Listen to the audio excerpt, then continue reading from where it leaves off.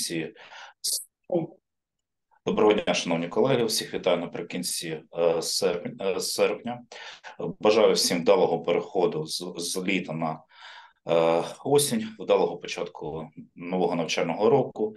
Щиро дякую всім за довіру, що ви обрали Центр України Європейського наукового співробітництва та сьогодні приймаєте участь наукових стажуваннях, які проводяться на базі університету ІСМА, Латвійська Республіка міста Рига. По перше, ми хочемо подякувати е, усій Латвійській Республіці, е, наш, наші дружні партнери.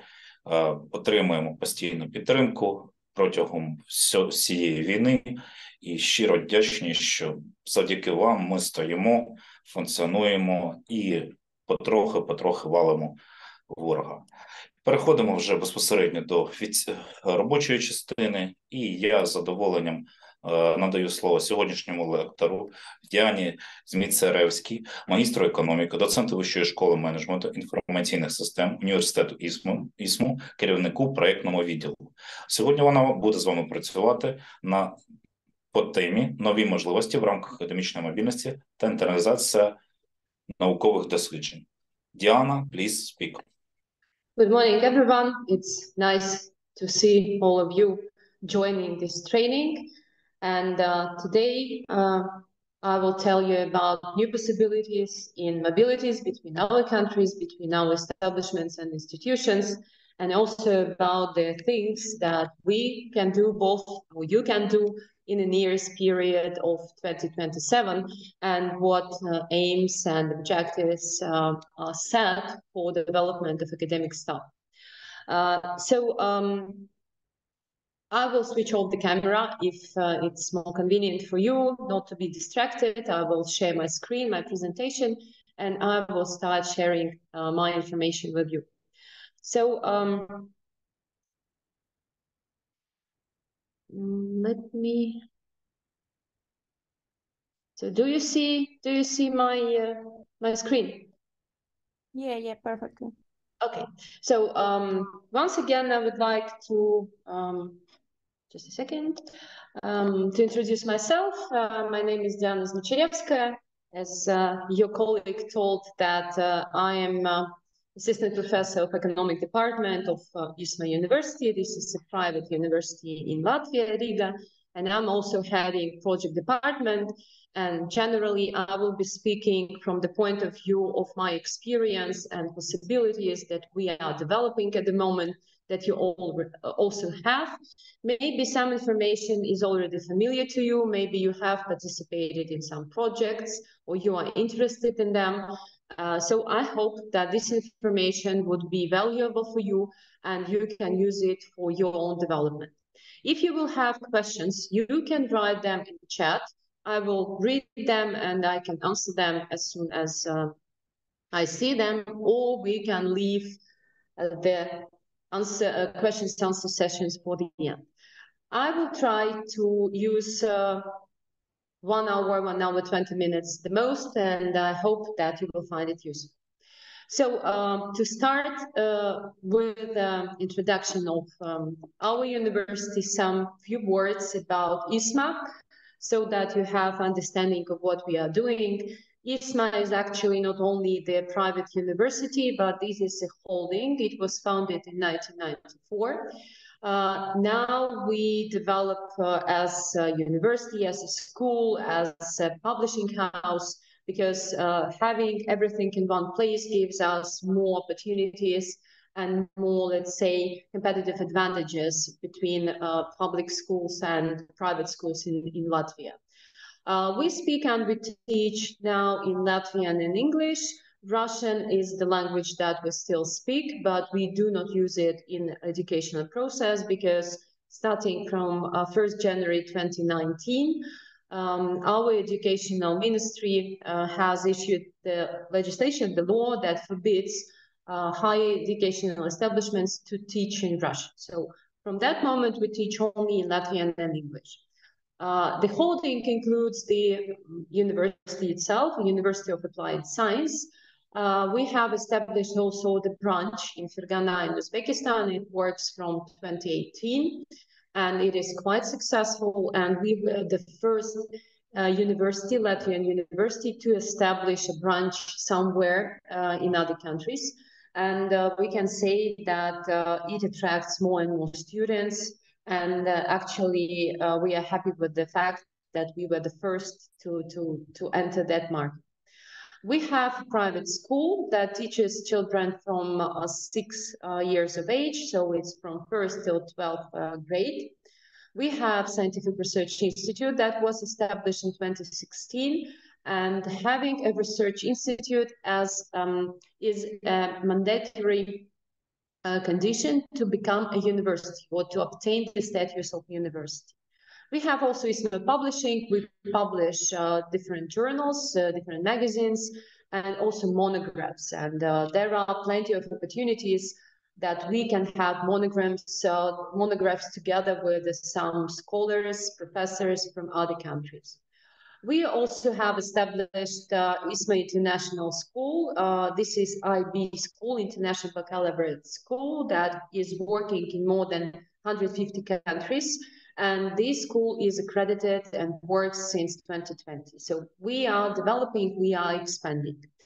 What we offer, we uh, have all levels of education, starting from the first level of higher education, it is called college in our country, bachelor studies, master studies, and doctoral school. Why doctoral school? Uh, at the moment, we are in the process of re-accreditation of doctoral program. That is why we offer studies as doctoral school, but at the moment, our students, uh, we do not have the council. So our students defend their doctoral thesis in our partners universities, in Ukraine, in Bulgaria, in other countries. Uh, basic study directions are management, economics, information systems, tourism, and restaurant business. And uh, Master of Business Administration or Bachelor of Business Administration covers all of these study uh, directions. Uh, the accredited programs at the moment are business administration, business administration in tourism, information system, and restaurant business. For students, we offer not only the studies according to accredited programs, but also scholarships. Students who have very good marks when they finish school, they uh, can obtain a scholarship for studying in our university. We offer different hostels. Uh, they, they, are not our own, but we have uh, cooperation agreements with the different hostels in Riga. We offer also international internship. Uh, this is on the basis of Erasmus Plus programs, and this is just based on the partnership that we have established with our partners in many, many countries. Student mobility, basically these are Erasmus Plus programs and this is not only for students, this is also for the staff, academic and non-academic. We can offer also tourism uh, services because we provide visa support for foreign students, obtaining ID cards, permanent residence uh, allowances. And in this connection, we are able to offer of uh, making visas for, for tourism um, for students and also the staff members. And sometimes we offer employment. Some students also work in our university, they uh, after studies or during the studies, and this is a very good opportunity. Different forms of studies, this is full-time, this is part-time, also distance learning is something that is preferred by students who want to obtain European diploma, but they don't want to physically move and study here. Um, main events that we hold every year, these are international conferences, these are periodical scientific publications and also different activities like sports and leisure that are also organized with the help of our students. We offer also courses or trainings like language courses, programming courses, design, Amadeus. This is for students who study in tourism. This is the system that is used in many touristic companies, um, hotels, um, um, the, the companies that sell tickets, air tickets, etc.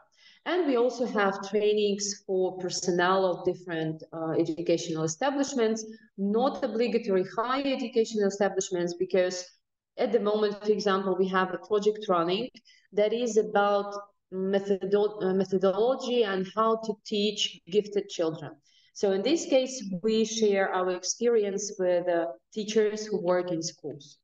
The conferences that are open to every participants. And uh, if you are interested, you can also apply, you can also participate, you can also write an article, or you can make a presentation during the conferences. This is the annual international conference internship and employment, usually takes place in November.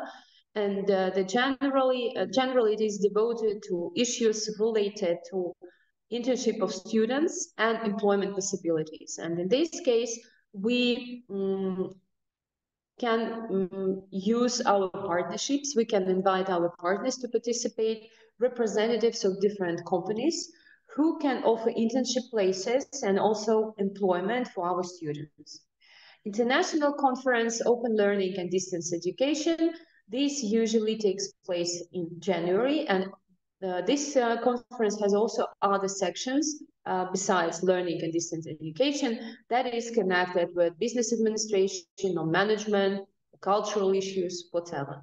And the main conference for us that uh, is held by ISMA, this is International Scientific Conference, Informational Technologies and Management, take place every April. You are welcome to participate in that because we publish the articles as the result of this conference, and we have many international participants coming physically or participating, for example, in Zoom, if they are not interested in physical presence here. There are also some contents that are meant um, for students, uh, like ISMA Intellect, or we have International Mathematical Competition Kangaroo. This is international, and actually this refers to school. And we have uh, also the annual competition ISMA Invites Talents, where we give an opportunity for talented students to sing, dance, or perform. And then as the result of that, we have uh, annual concert ISMA Festival that is uh, held also by ISMA with the help of partners and sponsors um, and uh, is supported also by, let's say, local government. Um, ISMA Student Council, this is an organization that is voluntary. Our students form it and uh, they are trying to support each other. They support defense students' interests. They can also improve and influence the study process because we are in close contact.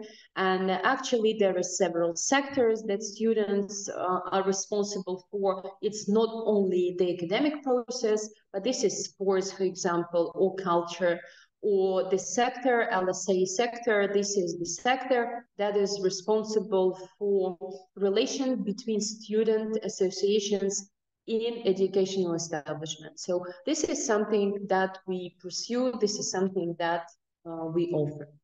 Uh, when we talk about uh, our university is an international higher educational establishment, then we can say that in 2017, we had the greatest percentage of international students among private universities or edu higher educational establishments in Latvia.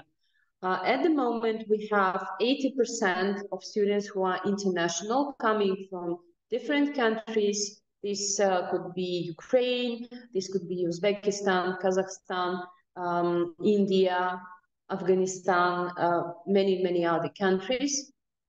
Um, then we also appeared in top 10 of multi-rank ranking, and we are quite proud of that because we are small. We, we are a small university, private university. We do not have any financing or funds coming from the government. So it makes us proud because we have proved this quality and this uh, during the years we function. And actually, we were the first branch, as I've already mentioned, to uh, have an officially registered accredited branch outside of our country. Um, as to international projects, by 2023, we have applied and also won more than 50 international projects, not only mobility projects, but also other projects related to science, related to different developments. So we are quite modern, we are quite flexible, we have a high quality technical facility, we have qualified staff, our staff is quite young. We have, uh, and we are trying to imply uh, new ways of communication between students and teaching staff. Um, we provide staff trainings in Latvian and also in English because we have also international teachers coming and teaching here also based on Erasmus exchange programs. And uh, actually, we have uh, the education quality control system that should be established by every university. And uh, we are successfully functioning for almost already 30 years.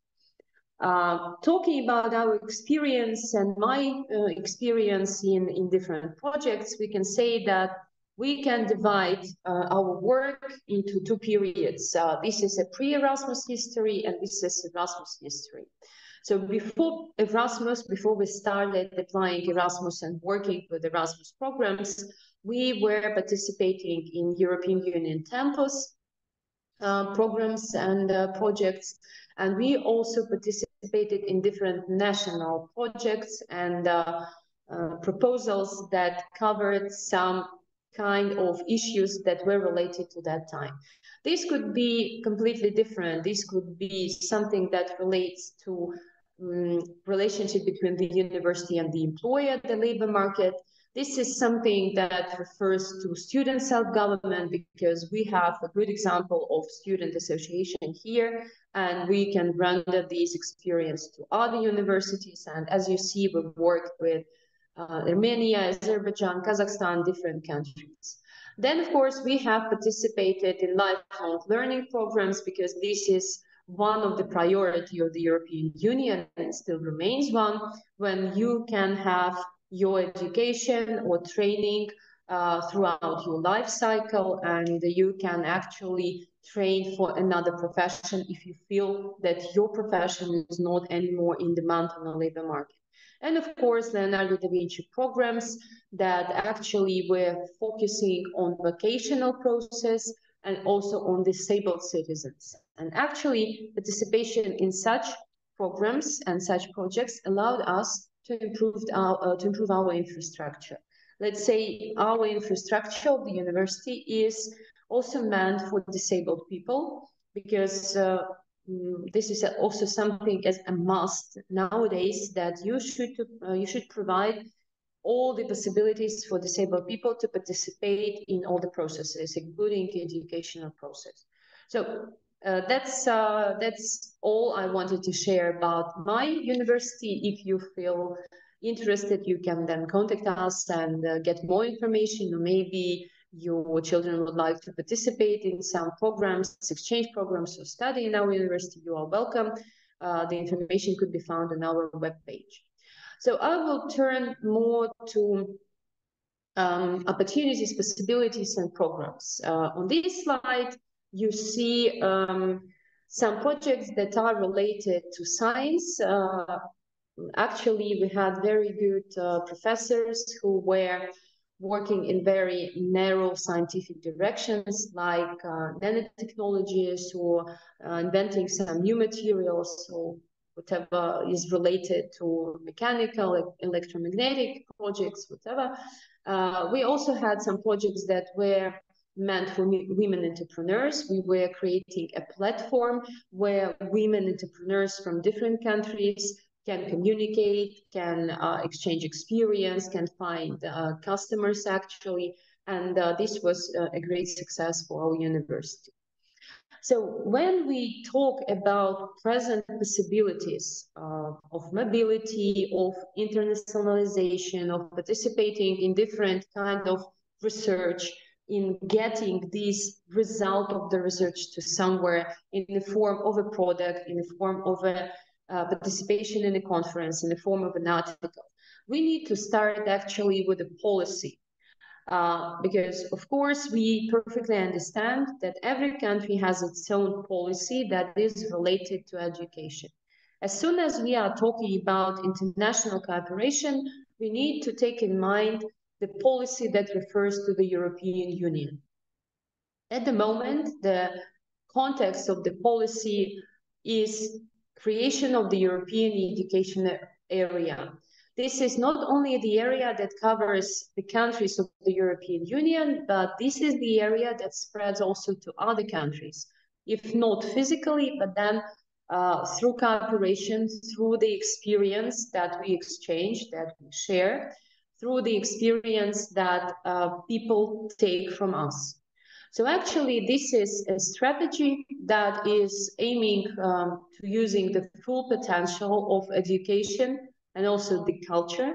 And that would lead to job creation, economic growth, and also improved social cohesion because still we understand that socially the society is very different.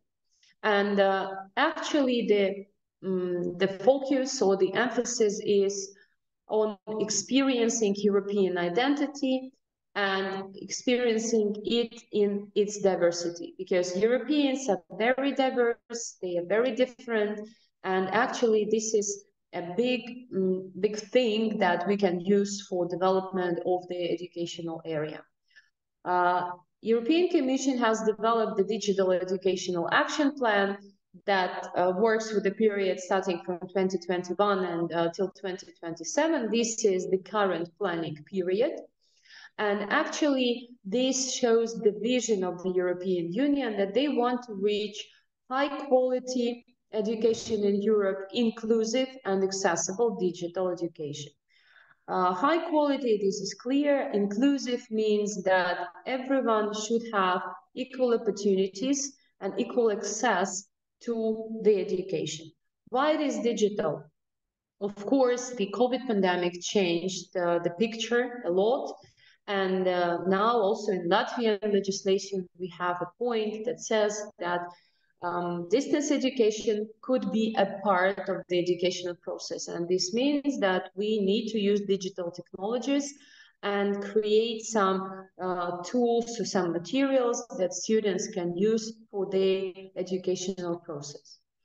Uh, when we are talking about this new policy or we are talking about the context that is changing, so, of course, the European Union was developing this policy for quite a long period of time. It was published in 2020, and all the efforts, all the projects, everything that's going on at the moment is uh, serving this idea through different dimensions, through different ideas, make a shift and reach some outcomes that would mm, make this uh, area smooth, uh, equal in opportunities, equal in access, and also equal in their content. So it's not only about the education itself, it's also about training, and it's not only about students, it's also about school children, it is about the staff working in different educational establishments, and this is also about non-academic staff that supports uh, different uh, processes and different educational uh, projects. When we are talking about uh, dimensions, when we are talking about things that actually influence what is happening at the moment, we should think about also priorities, and they are reflected in every step of uh, educational process. First of all, this is quality. Of course, every standard has its own system, educational system has educational standards as uh, refers to quality. And quality is not only following the standards that are established, but also making the process more up to date, more up to demands of the society, and more up to demands of the future. And this is definitely related to future skills because nowadays we understand that the skills that are demanded from uh, students or pupils are a bit different. That is why there is a shift in educational, in European educational systems from the classical academic educational system to the system that is based on skills. And in our country, as an example, we are moving towards this system and uh, it starts already from the first grade at school. Uh, it is reflected in the change of subjects that uh, pupils would be studying. It is reflected in the hours devoted to each subject. And it is reflected also in the system of uh, evaluation. For example, uh, the pupils of the ninth grade uh, so that uh, has finalized the grade in, in May, uh, when they were studying throughout the year, they did not have semester evaluation. They had only the evaluation in the end of the year. So This is not typical for us, but this is something that we will face in the future, that our pupils at school, they will not have marks, final marks, uh, in half a year, only two months or three months, they will have uh, they will have final marks uh, only in May when they finish finalize their grade. Uh, the second uh, direction, this is inclusion and gender. This is equality. Uh, we understand that gender issues uh, could be sensitive sometimes still, but uh, it is about equal opportunities for men and women, for male and female, because still in Europe, females uh, have lower salary, for example, having the same uh, jobs as men, or they are refused some jobs because they are females or other reasons. Inclusion, this means that people who do not belong to some uh, social groups, they have less opportunities. So people who are disabled or people who are coming from um, the families where that are not full of families with a lot of children as if they have less opportunities. So inclusion and equality, equality means that all people should have the same access to education. The third main priority is going green and going digital, and this uh, this is transitions because it's not possible to become green 100%. What does it mean green for us? It means that all the papers are exchanged in a digital form and electronic form. We do not print a lot of papers. We think about the future. We think about the nature we are trying to preserve it and not to make any harm for them. And all the technologies that we are trying to use nowadays, they are meant for so-called green world, green society. Uh, talking about Erasmus, you will, you can find actually on the net also information that Erasmus will Green or Green Erasmus, meaning that we need to use less paper and uh, where possible to have it in a digital form or electronic. Moreover, nowadays we are talking about Blue Erasmus. Maybe this is new for you.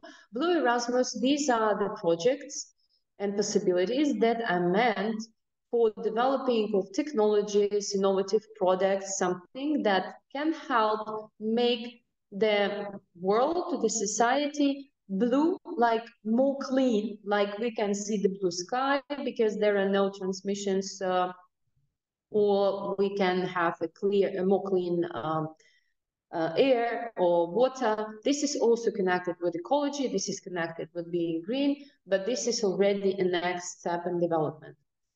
Uh, the fourth uh, perspective is uh, teachers and trainers as the society is changing, we are talking also sometimes about possibilities of the fourth industrial revolution that would lead to mm, losing some jobs, losing some professions, but at the same time, new jobs and professions would appear.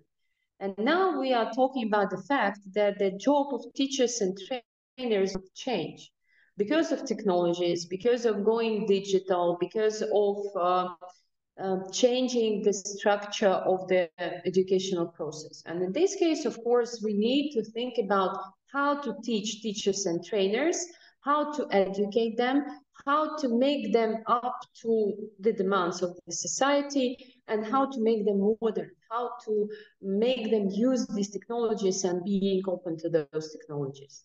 Of course, this would concern higher education. But again, uh, when we are talking about the higher educational system or process, it depends also on school education, what actually students receive in school, what kind of subjects, what kind of skills, so that in higher education they can develop that. And of course, this is connected with the geopolitical things. We are not uh, supposed to talk about this uh, in this training because generally it has influence on all spheres of life, but um, concerning the educational process in the long run, in the long-term perspective, it definitely will have the impact, and that is why we need to be open to changes. When we are talking about new possibilities for people, new possibilities for different educational establishments, we come to such a program as Erasmus Plus. Uh, I believe that you have heard about those programs, maybe you have participated in them, maybe you, at this moment of time, you do not know what kind of opportunities are opened to you personally or to the establishments where you work. Uh, as uh, most probably you know or you guess, Erasmus programs, uh, they are developed for a certain period of time. Now we are in the period start, that started in 2021 and would be finalized in 2027. Each of the, those periods have um, targets, objectives, and also priorities that should be followed, but also opens vast opportunities for everyone who wants to participate and wants to be a part of that. When we are talking about the, the current period, it is a bit different from what was before because um, when we are talking about different programs, even the source of financing of those programs changed. So concerning uh, general objectives for general things. So the main objective here is to support uh, people who are in education, in professional and personal development, people of all ages and help them in education, training, youth and sports in Europe and also beyond. So I'm talking about projects and things that are available not only for people living in the European Union, but also outside of that.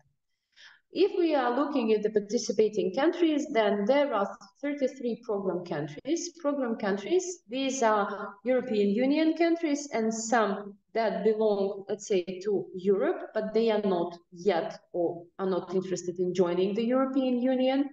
Uh, but they are called program countries. All other countries, they are called partner countries. And uh, in this case, we are talking about the international activities that are open to the rest of the world. If we will look at partner countries, literally every country from every continent can participate in these projects, but having a partner in program countries. Let's say you want to make a project that uh, could be financed from the European Union funds, you need to find the European partner. So a, a university, a school, a kindergarten, a, school, a sports school somewhere in Europe. There are three main actions, mobility, cooperations, and policy development. Mobility is about mobility of uh, school children, students, um, doctoral students, and staff of different educational establishments. Cooperation is something above, like uh, creation of uh, common study programs, like uh, master programs, for example, Policy development, this is something of a higher level that can influence actually the policy, educational policy in your country, in your region, in your university, in group of universities, etc. Uh, the way the programs are implemented, they uh, have indirect and direct implementation. Indirect implementation, this is regulated by national agency. In our country, this is Latvian national agency. In Ukraine, there is uh, also national agency, Ukrainian national agency. I will show you the, the source later and you will see how it is possible to find information. Uh, the direct um, implementation is uh, performed by European Commission structures. So actually this is EAC structure and um, this is about education and culture. And uh, EACEA, this is European Education and Culture Executive Agency. These are the structures that are monitoring, that are managing the projects at the higher level. Mobility projects, they are managed or implemented by national agencies, other projects, they are with the direct implementation and uh, managed from Brussels, let's say from uh, the European Union. Talking about the budget, as you see, the budget is huge and it is meant for 10 million participants and it is not only like uh, people, it meant for also organizations, so opportunities are vast. And the total budget of more than 28 billion uh, euro is divided in generally two parts. 70% of the, of the budget is meant for mobility projects. So again, we understand that a lot of money are spent on staff, students, uh, school children to move, to gain experience, to share experience, and 30% of the budget goes for cooperation projects and policy development projects. So actually, this gives us uh, an idea that somehow we can participate in these mobility projects. Uh, again, for Erasmus Plus, we have uh, three horizontal priorities, inclusive, digital, and green. And this is something that is always in Erasmus.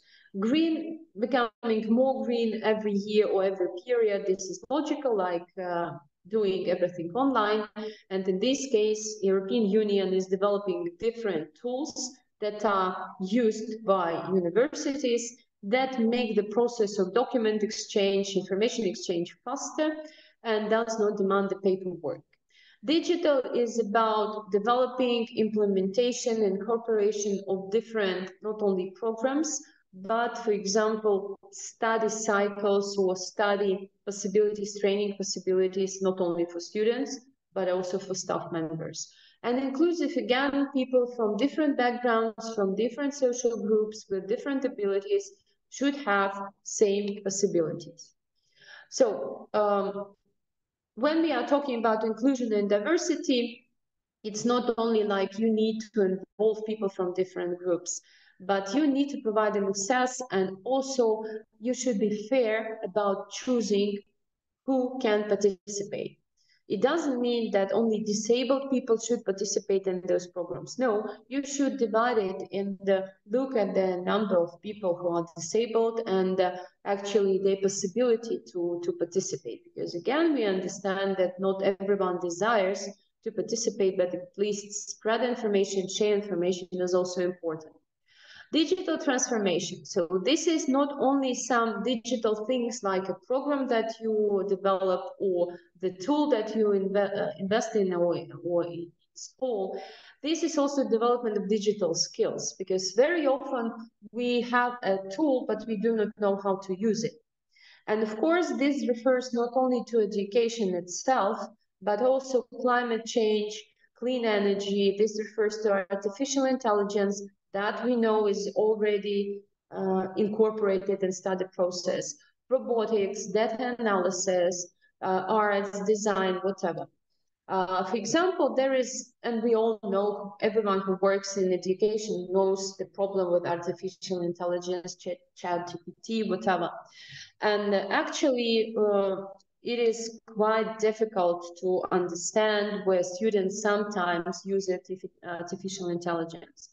Uh, for our students in our school and also in our university, we have um, introduced one rule that is based on recommendation from educational um, ministry that students can use ChatGPT or artificial intelligence for writing their essays or writing their diplomas, but they need to give the reference, the initial reference, and then this usually makes a problem so actually we as if trying to limit the use of artificial intelligence by our students. But again, this is a problem that everyone faces and uh, of course will face also in the future. Uh, participation in democratic life is also something that Europe tries to introduce in every project and this is actually addressing the trends that are widely spread in Europe and uh, making people more aware of what happens in, in Europe, in democratic life, what uh, is about European matters, like what is important for Europe, what they are trying to introduce, what they are trying to, to reach. Environmental sustainability, this is, again, green practices, this is thinking about the resources for the future generations, and this is keeping the environment uh, clean.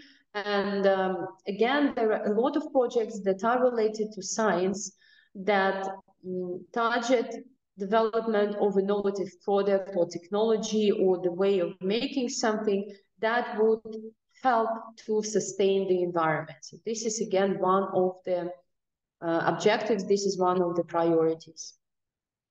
What are the, the actions that are supported and what are the actions that actually we can use? Mobility. Mobility is clear. When we are talking about the mobility of higher education students and staff, these are simple Erasmus Plus learners mobility projects that assume um, studying for students studying in European um, universities or higher educational establishments for a semester one year uh, for staff, usually the mobility is one week, could be prolonged to, a longer time, and this is, of course, granted uh, by the European Union funds. So you have a grant that covers your expenses. There is also mobility for vocational and educational uh, trainings and learners and also the staff. Usually these are colleges, some kind of professional colleges. There is also mobility of school pupils and staff, school pupils starting from 14 years of age, and also school teachers. When you come to European schools, you will learn how they work, the methods that they use, maybe some innovative things. There is also mobility of adult education learners, staff, uh, people who are involved in adult education. And uh, this is not only, let's say, higher education, this is connected with um, gaining new profession when you are already adult. And language learning opportunities, usually these are so-called summer schools when you can come, for example, to Latvia and study Latvian for two months. This is also something that shows the culture of the country and is usually very interesting for, for, young, uh, for young people. Cooperation. So cooperation is um, a bit more complex, and usually when we talk from the point of view of the European Commission, they see mobility projects as the first step in development some cooperation for the future. Then when they see that you are successfully realizing mobility projects, they, they want to see that you cooperate also in other spheres. So uh, these could be small scale partnerships, like partnerships between two universities, small universities, or several universities. These could be also partnerships for excellences, and this is connected with the idea of the European universities. These could be joint master degrees and also related to um, a higher priority, let's say, creation of European universities. What is the idea of this European university? Uh, European Union, through different projects and financing different partnerships, is trying to reach um, a situation where different European universities unite in a certain partnership and provide equal programs for different students. Let's say there are six or seven universities with similar programs, with a similar um, processes. And in this case, the student that enters the university can spend one semester, for example, in, in Riga in the university. The second semester, he can spend, spend some, somewhere in Italy in the same program. The third semester, he can spend somewhere in Sweden in the same program. The idea here is to have uh, the system on a module basis. Like the student can, uh, the student needs to pass the exams for a certain number of credit points. But the subjects are not connected with the year of study. The subjects are um, like you can random, randomly you, uh, choose subjects and study them in different universities. The main thing is that you need to pass the exam and collect a certain number of uh, credit points. This is very interesting and uh, this is very good for young people and from the point of view of European Union, this gives very good opportunities to live in different countries, to experience uh, culture, um, educational systems, maybe also work sometimes in, in these systems and these countries and have this vast experience. Of course, there are partnerships for innovation, and this is about creation of a new product, a technology, a service that could be spread not only across the European Union, but also in other countries. Uh, of course, online platforms, tools for virtual cooperation, and exactly this became very actual during the COVID pandemic. Concerning policy development, as you can see, there are some partnerships and some projects that are meant for development of sectoral policies and education and training, uh, some policies that are meant for quality, Uh, some uh, that are meant for transparency uh, could be recognition of skills, and this refers to recognition of professional diplomas, let's say, when you do not need to confirm your diploma when you move to another European country, for example. Then, of course, there could be a dialogue between um, and cooperation also between stakeholders like state organization, municipality, and higher educational establishment that proposes some changes in the policy of education.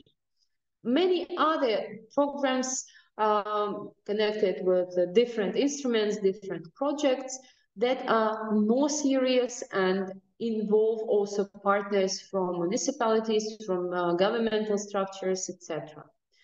Uh, Jean Monnet actions. This is something that is very real, very interesting, and very popular. Uh, Jean Monnet could be in the field of higher education and also in other fields of education and training. Why this is interesting? To apply for Jean Monnet actions, you can do it yourself. Any educational establishment can do it.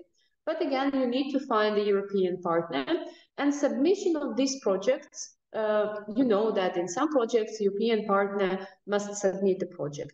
For Jean Monnet, there is no such a condition. Any university, any uh, educational establishment can um, submit that. And actually, Jean Monnet is meant for direct exchange of experience. Uh, very popular direction was, uh, let's say, regional policy in the European Union. And uh, let's say our partners in Ukraine were submitting the projects where uh, they reflected the way they want to gain this experience from us, how we work on a regional level, what does it mean, how they can implement that on the level of educational establishment or further on municipal level and so on. So Jean Monnet is very easy, very easy to write, very easy to submit, and could be very interesting even for individual um, teachers, individual professors. For youth, it's the same. You see that there are mobility, cooperation, and policy development projects. Again, the sense and the essence is the same only like uh, the age group is different or um, belonging to the educational establishment or establishment in general. And of course, there are policy development that are more uh, related to, to young children, let's say, or to other stakeholders that refer to the policy, to the education and training exactly uh, for young people. Um, and uh, also for sports. So it's not only about the traditional and academic education, it's also about sports, mobility of sports staffs, also cooperation that is um, um, meant for sports events, for example, not for profit sports events.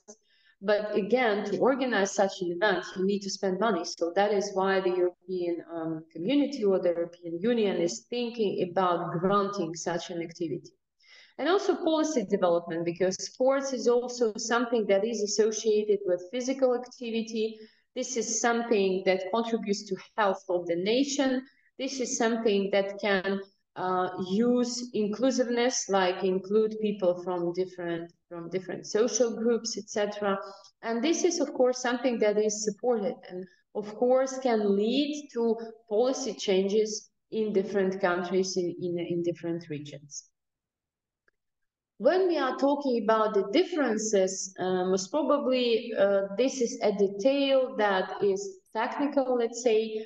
Uh, there were changes introduced starting from 2021, and we can say that the management of projects changed. The thing that I have explained to you uh, before, that, that, there is uh, there are projects that are managed uh, locally, like on the national basis by national agencies, and projects that are managed by European structures. So uh, when we are talking about partnerships, we, we talk about partnerships for cooperation or for innovation or for excellence, then in this case, we can talk not only about the, the academic um, educational process, but also vocational process, vocational education, and we talk about joint master degrees. Uh, joint master degrees, the problem here is that developing the programs themselves thinking about how to fill them in, thinking about the professors and the staff because there are strict demands towards it, and they are managed directly from the, from the European Union, from the European Commission structures, and the um, inspection of the projects is, is more strict. So we can say that the current period it is more related to future objectives of the European Union. It involves more partners that are outside of the European Union. It has more money meant for, for the project, but it is more uh, strictly managed. So again, we need to be responsible for what we are doing. And uh, the continuum that the European Union is trying to reach through these projects. So if we start with mobility projects and we are going to some policy changing projects, so this is cooperation. Just we start with cooperating with exchange of students, exchange of staff, we exchange experiences, we exchange what we what we can do, our skills, whatever. Then we need to think about innovation. What we can introduce to our processes, to our uh, work that would make us more innovative, that would make the quality of the process better or higher. And then the next step is excellence. Excellence it's not only the highest quality of the, of the process or education, this is also reaching something that is similar like in European universities. And the last uh, objective or the last point, this is policy, changing of the policy. So uh, the European Union is not trying to change its policy, but it wants to influence policies, let's say, in the field of education in other countries. And this could be done starting with mobilities, with changing the experience, acquiring new skills, and step by step, this would lead to higher bigger demands. Uh, when we are talking about cooperation in education, and especially in higher education, there are some, of course, key goals, and uh, these refer also to what we do every day and uh, the way we cooperate. So this is um, connected with future skills, and future skills definitely would be connected with digitalization, with artificial intelligence, with new technologies, new ways of teaching, new types of students, because of course the student as a personality also changes. And in this case, at the moment, there are great mismatches between the future skills and what we know and can do at the moment. So the European Union wants to um, minimize these mismatches and promote excellence in skills that we develop. So high quality skills that are related to future skills. Then this is building inclusive and connected higher education systems so that a person studying here can go to another country not obligatory European Union country and study there uh, with acceptance of everything that was studied uh, before or the results that are also acknowledged. Then uh, ensuring that higher education institutions contribute to innovation. And this is again incorporation of different digital solutions in the system of education. It's not only, again, the system that you use for distance uh, learning or distance education, for example. This is everything that accompanies a student in the process of education.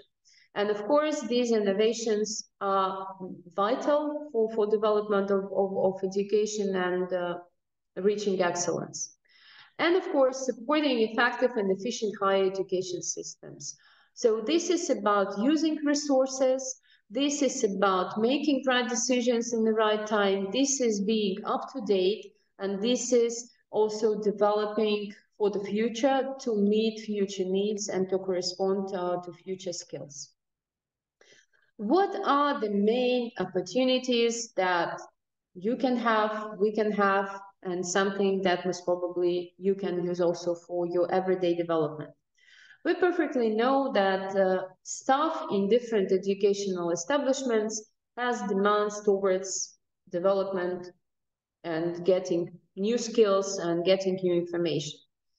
So uh, we are aware that uh, the demands of, of your educational policy or educational uh, legislation are as follows, that you need to train periodically, you need to write articles, you need to participate in different projects to be employed in the educational system. The same refers to, to us because we have also our obligations that we need to, to fill in. So uh, there are some projects that can help us do that. So now you are participating in the training that uh, will provide you with a certificate that will help you to develop in your profession. But to uh, participate in opportunities that are meant for your educational establishment, you can use uh, the link that you show in uh, that is shown on, on the slide. This is a working link. Uh, afterwards, after the training, you will receive this presentation and you can go to this link and check the information available. So these are Erasmus programs that are meant also for Ukrainian educational establishment. And as you can see, there are the sections, uh, different sections. The first section, higher education. So if you go in, you will find all the projects that your uh, university or institute or whatever can participate in and what are the opportunities in this uh, respect. Again, uh, to realize these projects, you need to have European partners. So many um, many uh, universities, they are searching for partners or they already have partners. Let's say uh, our university is working with Ukraine already a long period of time. We have many partners uh, in, in Ukraine as universities, but we are open to new partners. We are open to new cooperation because this is our strategy. We want to become more and more international. So higher education is clear. You go inside, you see what's possible, you see at the mobility projects. Maybe your university already has a mobility project and you want to participate in that, or you want to apply for such a, for such a project. Then school education. Again, you can see what is possible to do in schools. In our private school, we also have some projects running some of these projects are meant uh, mm, for exchange of students, school students and staff. Some other projects are meant uh, for other purposes. Like we have a project that is more creative, but also uh, refers to Green Erasmus, how um, students can use the garbage for, for different purposes. Like our school students, they create different projects, creative projects using the garbage. So this is also something that schools can participate in. And this is also creativity that people can use. Adult education, everything that is connected with the training of adults, uh, providing them second higher education or training so that they can change their profession vocational educational training, everything that is connected with skills, professions, colleges, Jean Monnet projects, something that I have just explained, uh, education reforms expert team. These are the teams that can help you to, or projects that can help you to introduce something that would lead to reforms in educational system in higher education. So there are some projects that are made for youth, young children, young people, uh, sports, projects that are related to sports school, sports organization. Uh, this is the section that is about Erasmus Plus during the war in the in Ukraine. Why? Because we perfectly know that there are limitations. Um, students from Ukraine they come and study. For example, in our university, we had six students during the previous uh, semester, and uh, some students are coming also in September. Um, uh, if you mean, uh, I'm sorry, I, am just distracted by the question. Uh, um, what do you mean by um, by your question. Uh, this uh, presentation will be available to you. If you need the translation of that, then you can use automatic translation on Google Translate. And all of these um, links, they would be accessible also in the presentation that you would receive later. Uh, so about the limitations. Now at the, the given point of time, only women or girls can come study in, in European universities. We are not allowed to uh, receive boys or men who are in the age from 18 till 60. And this is the demand for, from the Ukrainian side, and this is the demand of the Latvian Educational Ministry. Unfortunately, we all know the situation. We hope that the situation will change. And uh, of course, there are some limitations. The process is not easy, but still the students are coming. Uh, if we are talking about inclusive digital and green, this is uh, just description of priorities and the programs that uh, are available to, to people in your country. So what I advise you to do, if you are interested in mobility, in coming and um, getting experience from European educational establishments, in working maybe for a short period of time in some of the higher education establishments in Europe. If your university or your education establishment does not have such a program, you can initiate it. You can suggest that your university can participate in, in such programs. So again, this link would be available to you in the presentation. You can go in and you will see the information that I have on, on, on the slide. So uh, let's move on. Um, another opportunity that you can use, these are Latvian state scholarships. Latvian state scholarships are provided by uh, Latvian budget. So the previous programs, they are financed by European Union funds with attraction uh, of some external funds Latvian state scholarships, they are provided by Latvian budget. So uh, this is again the working link. You will receive the presentation, you can go in. This is the screenshot from the, from the page. Uh, at the moment, as I know, the participation or the application process is closed. So you need just to follow uh, the information when this would be open. So actually, this is a program or this is the project or this is the application process that even individuals can participate in. And here you can see that there are scholarships for studies, also for studies for staff of the educational establishments that you can come to European Union educational establishment, you can study here and you can be trained here, you can receive new experience here, and you can also work here for a short period of time. And these scholarships uh, usually cover all the expenses that are associated with traveling, staying here. Um, I would say that it will not cover all your expenses, but the biggest part. Uh, then there are also summer schools. Uh, as an individual, you can apply for participation in summer school. Summer schools are devoted to different topics. This could be study of Latvian language, or this could be culture of the Baltic states, or this could be um, differences in cultures between you know, Latvian and Estonian uh, people. This could be interesting this helps to establish new contacts and usually you receive grants for this or scholarships for this. Uh, when you would come uh, come in, you will, I will try just uh, to, to use it and to show you that when you come in, you see the uh, applicants, the, the countries that are valid for application, and uh, as you see, Ukraine is one of the countries that is eligible. So people from these countries can make an application, uh, fill, uh, fill in all the necessary papers, and wait for the response.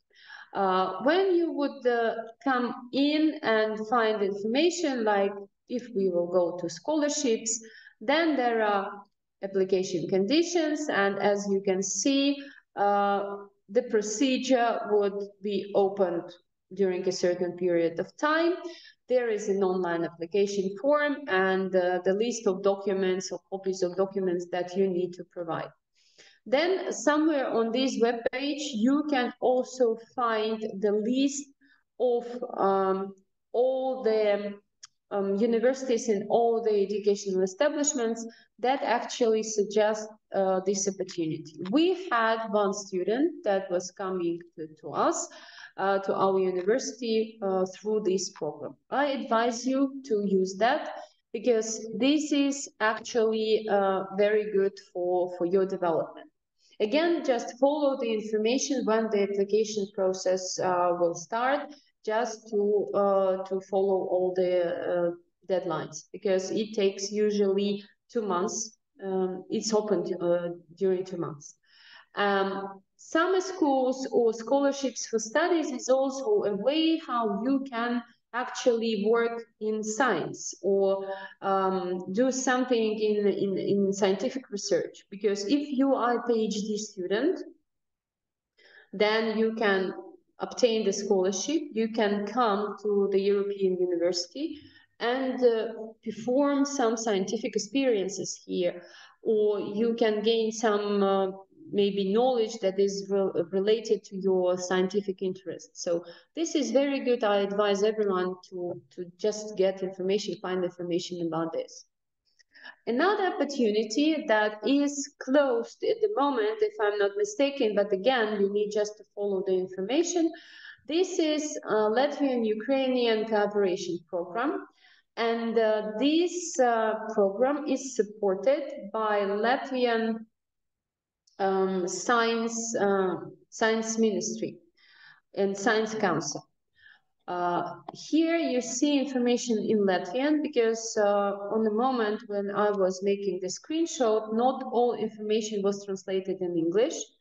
But again, if we would uh, come to use the link and come to this um, site, again, we do not have here all the information in English. If we will switch uh, to, to languages, but the essence, I will explain the essence. So there is a program that is meant for um, science and uh, scientific developments. This is supported from the Ukrainian side by the Ministry of Education and Science of Ukraine. From our side, from Latvian side, it is uh, supported by also uh, Education and Science Ministry. There are some rules that were accepted back in 2015. And uh, the essence of this uh, program is that there are some priorities uh, in which you can develop a common program, uh, common program and common project between the Ukrainian um, establishment, scientific establishment, institute or university and European partner. The project is written in two languages and uh, is submitted in two places in Ukrainian, and it is submitted in the Ministry, uh, Ukrainian Ministry of Science and Education. The same project is translated into Latvian and is also submitted here in the Ministry of Education and Science.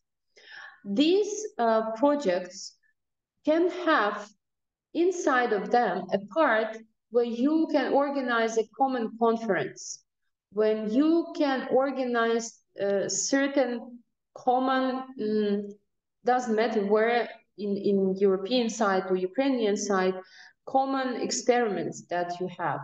Uh, these can have developments uh, of innovative ideas, products, and services. We also had experience in submitting these projects, but we didn't win. Uh, our partners in uh, in one of the Ukrainian universities has developed a project that was uh, devoted to social and economic factors uh, in migration processes. Unfortunately, this is not a kind of priority that uh, our ministries of science and education want to, to see. The priorities, as I mentioned before, inclusion, digitalization, innovation, being green, being blue, uh, development of new materials, and development, everything that can help to create new medical um, stuff, pharmaceutical stuff, and also biotechnologies. Then something that is uh, referred to new energy sources and also agricultural sector.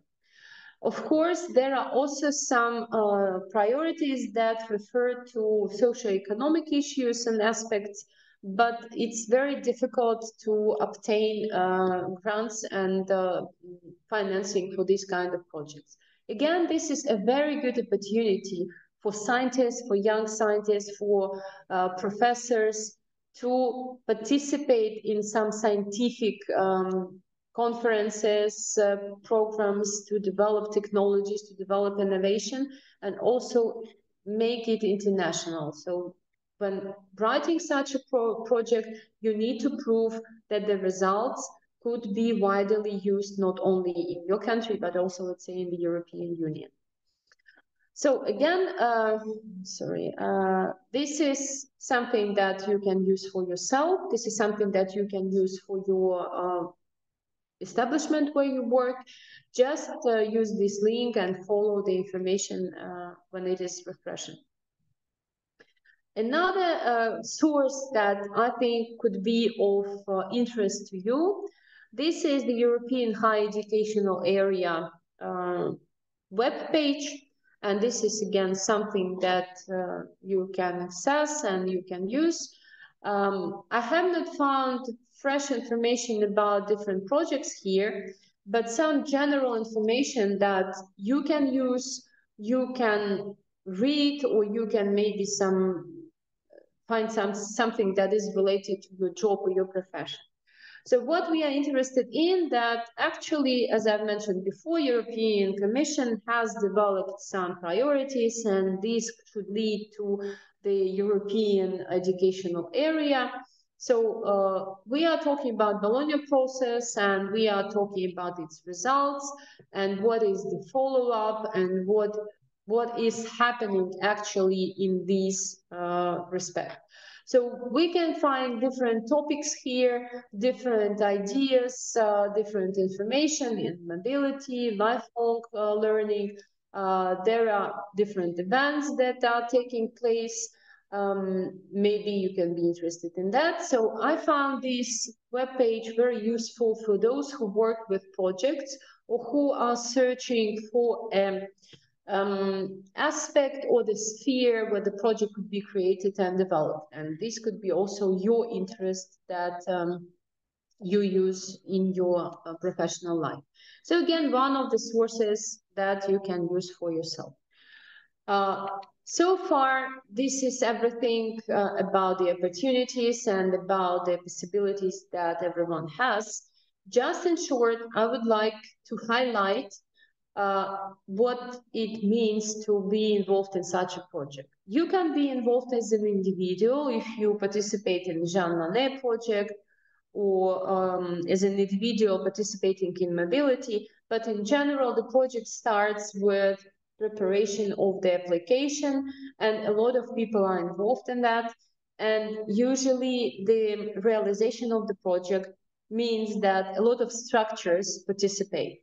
So for us, um, this is the International relation Department where we take care about visas or invitations. We uh, think about residence permit if necessary. For example, if a student is coming on mobility, um, for Ukrainian students, you know, or citizens, 90 days within a year, you can stay without the visa. But if a student comes for a semester, and usually it is five months, uh, he or she needs to obtain the visa. So international relations department helps. Project department, which I'm heading, we are making all the documents, we are preparing applications, we are following, submitting all the reports, everything. Study department makes the curriculum not only for students, but also for academic staff. So if you come here for a week and you are interested in teaching one of the subject for one day, for example, then we need to um, discuss it and to introduce it in our curriculum. Financial department is uh, um, is participating on the money transfers, is uh, responsible for this. Uh, what is interesting, many of the projects, and especially mobility projects, um, they are managed by financial departments of universities, but the money are not coming from the accounts of the university. We have a special structure it is called the state cash register.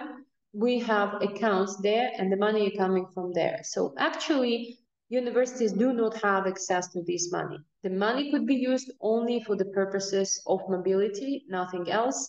And they do not, this money are not transferred to accounts of the universities, only to state uh, organization. Uh, administration, of course, because the administration is checking all the documents, uh, performing the control over the process, and also the self, uh, students' self-government, because they help us a lot with integrating students into the process and also helping with uh, teachers uh, just to show around, to help to get oriented in, in social matters, maybe to go sightseeing or something of the kind. So a lot of structures, a lot of people would be mm, also connected with the realization of the product. Uh, we also face some problems, and this is not only in mobility projects, but also in other projects, like academic staff doesn't want to participate because maybe their linguistic skills are not that good. To participate in any international project, um, you should have knowledge of English or linguistic skills at the B2 level, uh, according to the European system.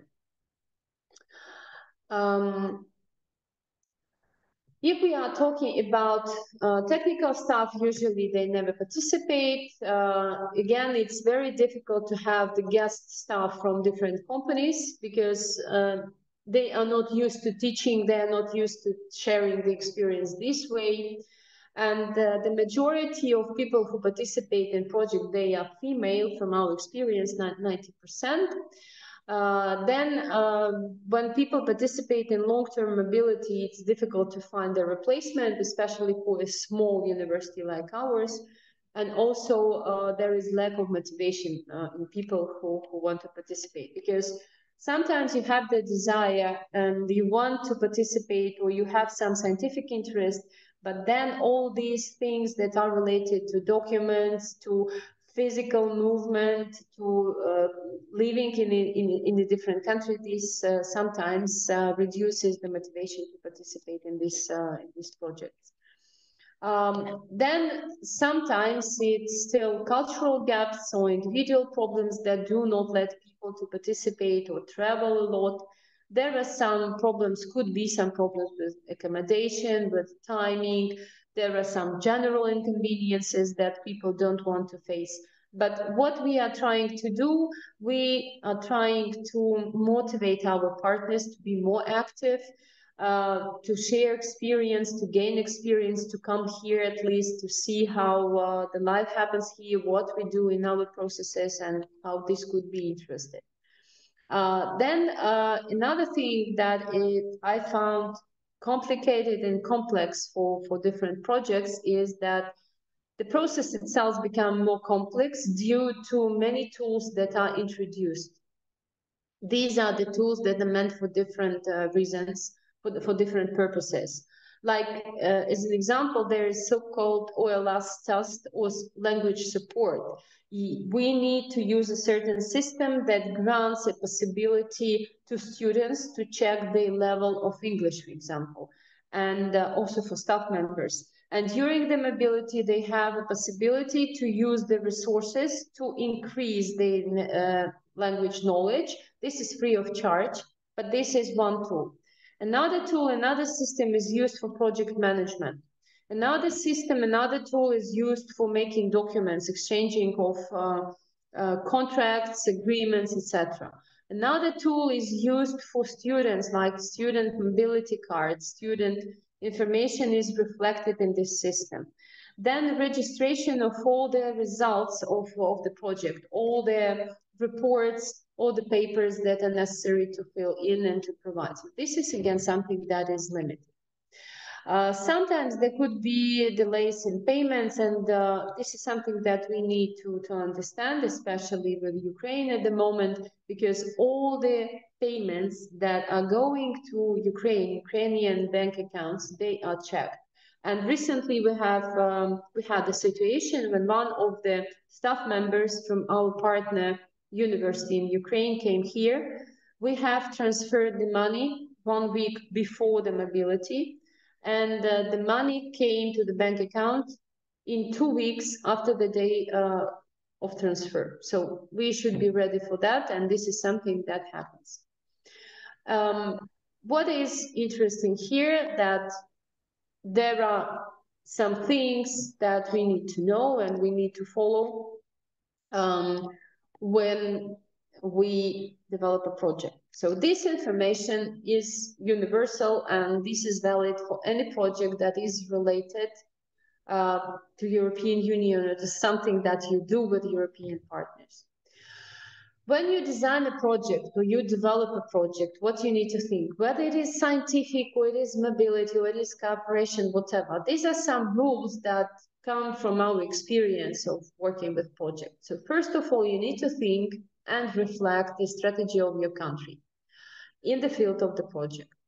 Um, for, for us, let's say Latvia is the part of the European Union, we look at the strategy of the Union itself, and then we look at the strategy of our country. We see some strategic priorities, and we find how this is related to the field of the project we would like to apply.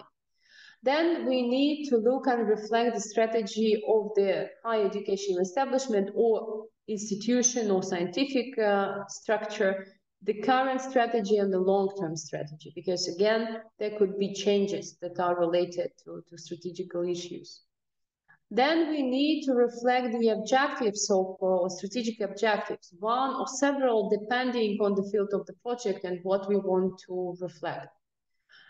Uh, of course, we need to reflect benefits for participants. How people, organizations participating in the project will benefit from that. Then we need to reflect long-term effect. This is a must in every project because what we do now should have impact also in the future.